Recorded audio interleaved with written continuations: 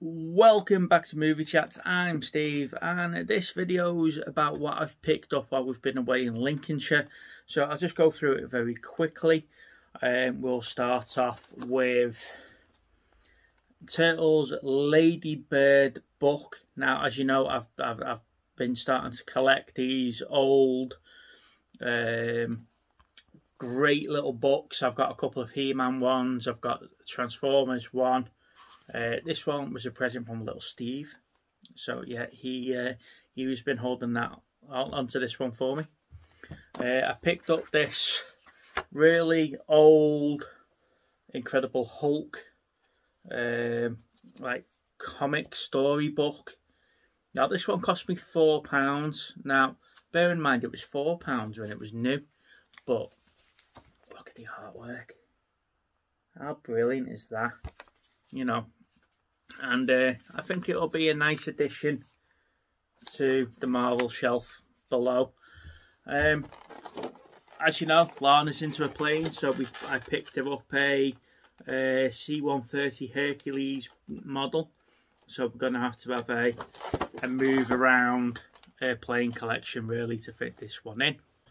Moving on to DVDs, uh, we got uh, the three billboards uh, now, apparently, this is supposed to be quite good film. Little Steve picked this one up for us when we were in the charity shop. He said uh, we, we need to give this one a watch, so that's been recommended to us.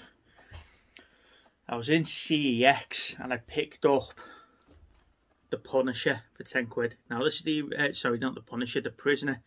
This is the original series um, from the BBC that was filmed down in Port Portmeirion. Um, I love the series. I love going down to see where the set was. Uh, bit of a surprise to me because we've got the DVD box set, but we also got the book. Now this book goes through how it was made, all the um, stories and stuff from set, all people's recollections and stuff. So that was a really good bonus to me. But yeah, that box set was £10. I can't wait to get in, stuck back into it. It's been digitally remastered. So yeah, I can't wait to watch this one. So now we move on to Blu-rays. So I picked up the special edition director's cut of Stargate. Now I love this film. Uh, I love the series and I love all the different spin-off series that went with it. Um, it's a bit of a strange on this because in some stores it was uh, like eighteen pound. See, one CEX store had it for a ten. Another CEX store had it for four pound. Uh, I just don't understand the pricing structures of these shops. However, I did pick this one up. Now I do love it. It was only a quid. Uh, no, no, yeah, it was four. It was meant to be a pound, but she charged me a pound for four. She completely got that wrong. But yeah, Stargate, great, great film. Um, Batman, Michael Keaton, Batman, the 1989 one. And I also picked up Batman Returns. Now, to me, these are two of the best Batman films out there. Um, this is before Batman started getting silly. Um, the Dark Knight series with Christopher Bale uh, and Christopher Nolan were, were Christian Bale, so and Christopher Nolan were brilliant. However, I do really enjoy these two, and uh, can't wait to give them a watch. Um, this is another one that was strangely priced in in all the shops. Um, again, CEX had one in for twelve pound. They had the Schwarzenegger box that had three films in for eight.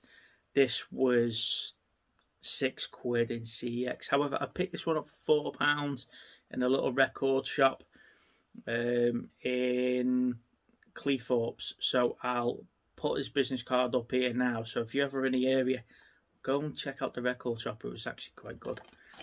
Um, one of my favourite films, The Last Boy Scout. I just find it really, really funny. And when I saw this one on the Blu-ray, I had to pick this one up. Uh, the Imitation Game. Now, this one is on our homework wheel. Lana says she's not seen it. I have seen it. However, I've seen it on. I've now owned it on Blu-ray, so that's going to come in handy when it comes up on the homework wheel. Fury is a brilliant war film. If you haven't seen this one, go out and, and, and give it a go. Brad Pitt's absolutely brilliant. Um, it's actually quite a sad film when you watch it, but it's really enjoyable. Dark, gritty, but enjoyable. Now, when we were in Grimsby, you know, we were looking for a particular film. Um, Lana's been looking at looking at it for a while. It was called The Brothers Grimsby when it was released. So we've been looking in the B section. However, when we were in Hull, we found a copy of Grimsby. So they've changed the name of the bloody film on DVD release or Blu-ray release. So we did pick this one up, um, so we could watch it again. It is going to be part of Lana's Sacha Baron Cohen um, collection. So this one's for her to keep, but brilliant film. We watched this um, this week, and I, I forgot how funny this was. Now, that's a what I've picked up really. There is some more stuff here. Uh, there's some Transformers that little Steve's picked me up, so I'll uh, I'll I'll sort them out and put them on the Transformers shelf behind me, wherever it is. Um, and yeah, I'll probably do a video sorting out my Transformers because it is getting quite full up there. Um, but do if you like the content, please like the video. It does help us get it out there to to other people.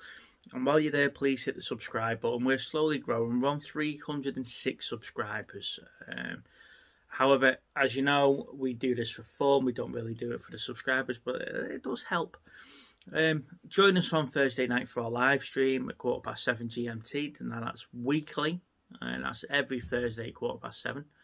Um, and we do try and get special guests on. We go through um, a homework movie that we review. We have featured actors, etc. Uh, plus our quiz, the answer smash. Now we haven't done that the last two weeks for obvious reasons. Um, so catch you soon. And on that note, I'll say bye bye, and I'll see you on the next one.